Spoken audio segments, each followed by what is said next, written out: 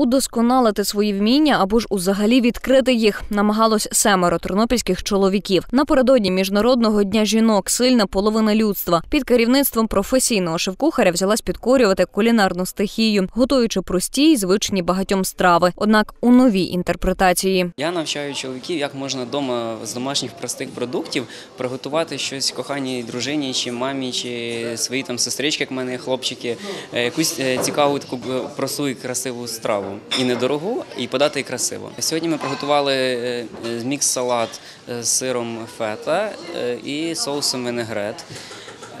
Картопляно-морквяне пюре із рибою смаженою в клярі пивному.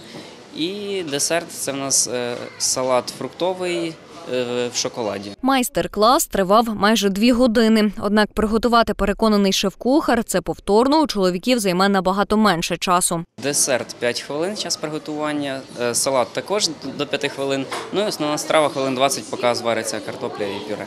Учасники майстер-класу своїми кулінарними творіннями розповідають, залишились задоволені. А дехто навіть трохи здивований, що йому вдалося приготувати такі смаколики. Я працюю в такому в таких закладах, е, зв'язаний з харчуванням, стравами, то маю до них е, якесь відношення. Але тим не менше вдома не готую.